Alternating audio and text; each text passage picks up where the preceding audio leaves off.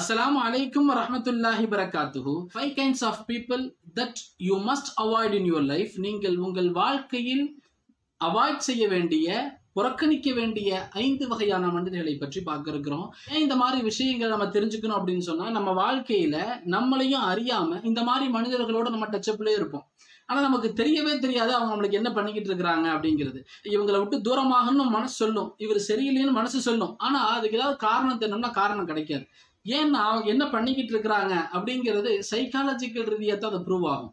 நம்ம இந்த தினசரி வாழ்க்கையில் அதை பற்றி பேசப்படுறதில்லை. அந்த மாதிரி ஒரு ஐந்து வகையான மனிதர்கள் நீங்கள் இந்த இந்த இந்த விஷயத்தை நீங்கள் கேட்ட பிறகு இந்த ஐந்து வகையான மனிதர்களில் யாராவது ஒருத்தர் கூடியாவது நீங்கள் ரிலேட் ஆகிருப்பீங்க நம்ம யாருன்னு அவங்களை கண்டுபிடிச்சிக்கிறதுக்காக வேண்டி இந்த வீடியோ உங்களுக்கு நிச்சயம் பயன்படும். முதலாவதாக one who mess with your mind உங்களோட உங்களுடைய மூளையோடு விளையாடக்கூடிய மனிதர்களை மட்டும் நீங்கள் நகர்ந்து விட வேண்டும். அவங்க பேசும் பொழுதே உங்க மூளையோடு அவங்க விளையாடுவாங்க. உங்களை நிறைய என்ன செய்வாங்க? குழப்பி விட்டுருவாங்க. இதை செய்யலாம் அதை செய்யலாம். தேவையில்லாத விஷயம் உங்க உங்க ஒரு கையில சொர்க்கத்தை காட்டுவாங்க. ஒரு கையில நரகத்தை காட்டுவாங்க. இப்படியெல்லாம் இருக்கு அப்படியெல்லாம் இருக்கு. நான் அது பண்ணிடுவேன் இதை பண்ணிடுவேன் நிறைய பேசுவாங்க. உன் வாழ்க்கையவே நான் அழகுபடுத்திடுவேன்ப்பா.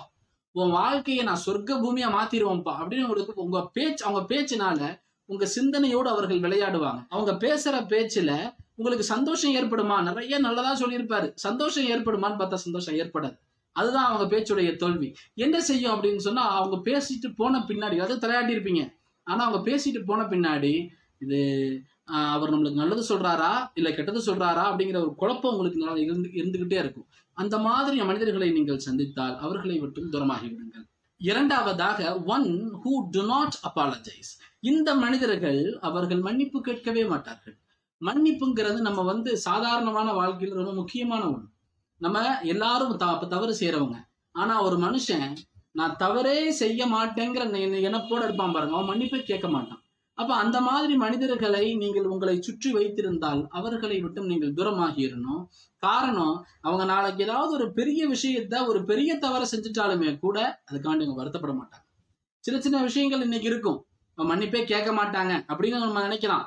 ஆனால் நாளை ஒரு வேலை ஒரு மிகப்பெரிய ஒரு பிரச்சனை உங்களுக்கு நிகழ்ந்துருச்சுனாலும் அவங்க அவங்க புறத்துல இருந்து கம்ஃபர்ட் ஜோன்ல உட்காந்து சொல்லுவாங்க நான் என்னங்க செஞ்சேன்? இப்படி நடக்கணும்னு எதிர்பார்த்தனா? நடந்து போச்சு. அதுக்கு போய் அவர் இப்படி பேசுறாருங்க அப்படின்னு சொல்லிட்டு நகர்ந்துருவாங்க. அதனால நம்ம இந்த மாதிரி மனிதர்களை விட்டு நம்ம தூரமாக்கிட்டோம்னா நமக்கு சேஃப்டி மூன்றாவதாக they intentionally do or say things they know that will upset you என்னன்னா அவங்களுக்கு தெளிவா தெரியும் நான் சொல்ல போற அல்லது நான் செய்ய போற இந்த விஷயம் கண்டிப்பாக இவருக்கு சிரமத்தை ஏற்படுத்தும். அவரை அப்செட் பண்ணுன்னு சொல்லி அவங்களுக்கு நல்லா தெரியும். தெரிஞ்சு அதை செய்வாங்க அதை சொல்லுவாங்க. இந்த மாதிரி மனிதர்கள் எக்கச்சக்கமான பேர் இருக்கிறாங்க. உதாரணமா பார்த்துக்கிட்டோம் அப்படின்னு சொன்னா அவர் முன்னாடி போனாலே நிறைய நல்ல விஷயங்கள் இருக்கும். நிறைய நல்ல விஷயங்கள் கேட்கலாம். அதெல்லாம் கேட்க மாட்டாரு. எதை கேட்டா உங்க மனசு சங்கடப்படுமோ எதை கேட்டா உங்க மனசு கவலைப்படுமோ அதைத்தான் அவர் கேட்பார். உதாரணமா சொல்றேனே ஒரு நண்பர்கள் கூட்டம் இருக்குன்னு வைங்களேன். அந்த நண்பர்கள் கூட்டத்துல நமக்கு தெரிஞ்ச பத்து பதினஞ்சு நண்பர்கள் இருப்பாங்க. அதுல ஏதாவது ஒரு நண்பர் கூட திடீர்னு ஒரு மனக்கசப்பு ஏற்பட்டிருக்கும். ஆஹ் இந்த நபர் நம்மளை சந்திக்கும் பொழுது இவர் என்ன செய்வாருன்னா அந்த மிச்சம் இருக்கிற ஒன்பது பேரை பத்தி விசாரிக்க மாட்டார். அவங்க எப்படி அவங்க எப்படி இருக்காங்க இவங்க எப்படி இருக்காங்க விசாரிக்க மாட்டார். அந்த பிரச்சனைக்குரிய ஒரு நபர் அவரை பத்தி பேசினா இப்ப நம்மளுக்கு அப்செட் ஆகும். அவரை பத்தி தான் நம்மள்ட்ட கேட்பார். அவர் எப்படிங்க இருக்கிறாரு அப்படின்னு நம்மள்ட்ட பார்த்து கேட்பார். நமக்கு உடனே மனசு கஷ்டமா இருக்கும் ஏங்க அவரை பத்தி பேசிக்கிட்டு இருக்கிறீங்க? அப்படின்னு நம்ம சொல்ல ஆரம்பிப்போம். அதுக்கு ஒரு புதுசா ஒரு அவர் ஒரு அர்த்தம் சொல்லுவார். என்ன கேட்கக்கூடாதா? என்னப்பா கேட்கக்கூடாதுன்னு சொல்ற? எல்லாம் ஒண்ணுதானப்பா நீங்கெல்லாம் அப்படின்னு சொல்லி மேலும் மேலும் அதுல வந்து எண்ணெயை ஊத்துறதுக்கு தான் அவர் முயற்சி பண்ணுவாரே தவிர என்ன செய்ய மாட்டார்? அந்த பிரச்சனையை அவர் முடிக்க அணைக்க மாட்டார்.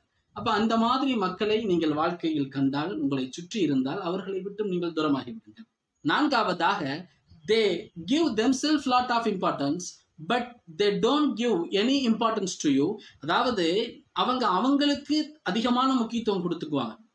தான் தன்னுடைய நலன் நான் தான் அப்படிங்கிறதுல அவங்க உறுதியா இருப்பாங்க.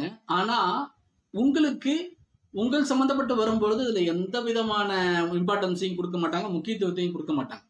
இந்த மாதிரி மனிதர்களை நீங்கள் வாழ்க்கையில் சந்தித்தால் அவர்களை விட்டும் தூரமாகுங்க உதா- என்னங்க அஜரத் எல்லாருமே அவங்கவுங்களுடைய முக்கியத்துவம் தான் பார்ப்பாங்க. நம்ம நம்ம குடும்பத்தை பார்க்குறோம் மத்தவங்கள பார்க்கணுமா? இல்ல அப்படி இல்லை.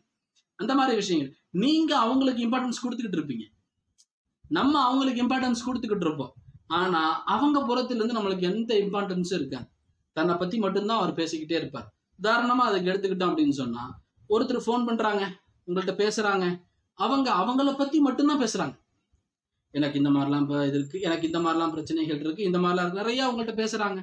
நீங்க உங்க சம்மந்தப்பட்ட ஏதாவது ஒரு விஷயத்த உங்கள்கிட்ட கேட்க முற்பட்டீங்கன்னா அவங்களுக்கு ஏதாவது வேலை வந்துட்டு போன வச்சிருவாங்க. அந்த மாதிரி மனிதர்களை நீங்க வாழ்க்கையில் சிந்தித்தால் அவர்களை நீங்கள் தூரமாக்கி கொள்ள வேண்டும். அவங்களை நீங்க நம்பக்கூடாது. ஐந்தாவதாக they always choose victim mode when you comfort them with their abusive behaviour அதாவது எப்பொழுதாவது நீங்க அவங்களுடைய குறைகளை அவங்களுக்கு சொல்ல நினைச்சீங்க அப்படின்னு சொன்னா இந்த மாதிரி குறைகள்லாம் அவங்கள்ட்ட இருக்குப்பா இந்த மாதிரிலாம் நீ செய்யறப்பா அப்படின்னு சொல்ல நினைச்சீங்க அப்படின்னு சொன்னா அவங்க டக்குன்னு விக்டிம் மோடுக்கு மாறிடுவாங்க. கரெக்டா நான் தான் பாதிக்கப்பட்டவன். இங்க பாதிக்கப்பட்டவனே நான் தாங்கிற மாதிரி உடனே அழுதுருவாங்க. உடனே அவங்களுக்கு நிறைய கண்கள் வந்து கண்ணீர் வந்துடும் இவங்களை தவிர அங்க வேற யாரும் இருந்தா? இவர்தான் பாதிக்கப்பட்டிருக்காருன்னு நினைப்பாங்க. அந்த அளவுக்கு அவங்களுடைய பேச்சுவார்த்தைகள் அமைஞ்சிடும் இந்த மாதிரி அவங்களுடைய குறைகளை அவங்களுக்கு நீங்க எடுத்து சொல்லும் பொழுது பாதிக்கப்பட்டவனுடைய நிலையில அவங்க ஆயிட்டாங்க. அந்த மாதிரி மக்களா இருக்கிறாங்க அப்படின்னு சொன்னா உங்களால அவங்கள ஒண்ணுமே பண்ண முடியாது. நீங்க தான் அவங்கள்ட்ட இருந்து தவிர்த்து கொள்ளணும். ஏன்னா அவங்க அந்த மோட்ல தான் இருப்பாங்க. நான் தான் பாதிக்கப்பட்டவன். இங்க பாதிக்கப்பட்டவனே நான் தான். எனக்கு தான் எதுவுமே சரியா நடக்கல. நீங்க எல்லாம் நல்லா இருக்கிறீங்க அப்படிங்கிற ஒரு மோட்லயே அவங்க இருப்பாங்க. இந்த மாதிரி மனிதர்களை நீங்கள் சந்திக்க நேர்ந்தால் அவர்களை விட்டும் நீங்கள் தூரமாகி விட வேண்டும். இந்த ஐந்து மனிதர்கள் உங்களுடைய தினசரி வாழ்க்கையில நிச்சயமாக யாராவது ஒருத்தர் ரெண்டு பேராவது நம்ம கடந்திருப்போம். அப்ப இந்த மாதிரி மனிதர்களை விட்டும் நாம் தூரமாகி கொண்டால் வாழ்க்கை நம்ம வாழ்க்கை பெட்டர் லைஃபாக இருக்கும். ஒரு நிம்மதியான வாழ்க்கையாக இருக்கும். அல்லாஹ் சுபஹானுவத்தாலா நம்முடைய வாழ்க்கையில் அனைத்து விதமான தீங்குகளில் இருந்தும் நம்மை பாதுகாத்தல் புரிவானாக. இன்ஷா அல்லா மீண்டும் நல்ல திருப்பி சந்திப்போம். அஸ்லாம் அலைக்கும் வரமத்துல்லாஹி பிறகு சாதியா தர்பியா கோர்ஸ் சம்பந்தமாக உங்களுக்கு அதனுடைய முழு விளக்கத்தை நம்ம சொல்லிடுறோம். அது மூன்று மாதத்தினுடைய பயிற்சி வகுப்புகள். சாதியா தர்பியா கோர்ஸ்ல தொழுகையினுடைய முறைகள் உங்களுக்கு மிக நலவாக கற்றுக் கொடுக்கப்படும். தொழுகையினுடைய முறைகள் மேலும் அதுல ஓதக்கூடிய அத்தகையாத்துல இருந்து தரூதி இப்ராஹிமில் இருந்து என்னென்னலாம் சனாவில் இருந்து அது அனைத்தும் உங்களுக்கு மனநம் செய்விக்கப்படும். இரண்டாவதாக தொழுகையில் ஓத வேண்டிய சூறாக்கள் ஐந்து முதல் பத்து சூறாக்கள் தஜ்வீதுடன் அவருக்கு மனநம் செய்விக்கப்படும். மூன்றாவதாக ஆதாபுகள் ஒழுக்கங்கள் வீட்டினுடைய ஒழுக்கங்கள் பள்ளியினுடைய ஒழுக்கங்கள் கழிவறையின் ஒழுக்கங்கள் இப்படியாக ஒழுக்கங்கள் அவர்களுக்கு உலமாக்களால் அவர்களுக்கு நடத்தப்படும். நான்காவதாக முக்கியமான தேவையான சுண்ணத்தான துவாக்கள் அவர்களுக்கு மனநம் செய்விக்கப்படும் ஐந்தாவதாக நாற்பது ஹதீசுகள் மனநம் செய்விக்கப்படும் நபிசல்லாஹ் அலஹி வசல்லம் அவர்கள் கூறியுள்ளார்கள் எவர் ஒருவர் நமது நாற்பது ஹதீசுகளை மனநம் செய்வாரோ அவருக்கு மறுமையில் நாளில் நான் சிபாரிசு செய்யக்கூடியவனாக ஷஃபாத்து செய்யக்கூடியவனாக இருக்கிறேன் என்று சல்லல்லா அலிஸ்லம் சொல்றாங்க. அந்த அடிப்படையில நாற்பது ஹதீசுகள் அவருக்கு மனதம் சேவிக்கப்படும். இது அனைத்தும் ஜெயிதான உலமாக்களால் தங்களுக்கு பயிற்சி அளிக்கப்படும். மூன்று மாதத்தினுடைய கோர்ஸ் அது எந்த காலத்திலும் நீங்க சேரலாம். ஒவ்வொரு நபர்களுக்கும் தனித்தனி நேரங்கள் கொடுக்கப்படும். இப்ப கீழே வரக்கூடிய இந்த நம்பருக்கு நீங்க வாட்ஸ்அப் செய்தா போதும். அதனுடைய தர்பியா கோர்ஸ் சம்பந்தமான முழு டீட்டெயில்ஸ் தங்களுக்கு தரப்படும். ஆண்களாக இருந்தாலும் சரி பெண்களாக இருந்தாலும் சரி பதினைந்து வயது முதல் எந்த வயதுள்ளவர்களாக இருந்தாலும் தாராளமாக நம்முடைய சாதியா தர்பியாவில் சேர்ந்து கொள்ளலாம். தங்களுக்கு நல்ல முறையில் அவர்கள் கற்றுக் கொடுக்கப்படும். இந்த நம்பருக்கு நீங்க வாட்ஸ்அப் செய்தா போதும். அதனுடைய முழு டீட்டெயில்ஸ் தங்களுக்கு கொடுக்கப்படும். தாங்கள் நம்முடைய சாதியா இஸ்லாமிக் ஸ்டடீஸ் நிறுவனத்தினுடைய கல்வி பணிகள் சிறந்து விளங்க துவா செய்யுங்கள். அல்லாஹ் சுபஹானுவத்தாலா நம்முடைய இந்த கல்வி பணிகளை கியாமத்து வரை அல்லாஹ் தொடரச் செய்வானாக. எல்லா விதமான நலங்களோடும் வளங்களோடும் இஸ்லாமிய சமூகம் வாழ்வதற்கான தோஃபிக்கு அல்லாஹ் ஏற்படுத்துவானாக. ஆமீன். அஸ்லாம் அலைக்கும் வரஹ்மத்துல்லாஹி வரக்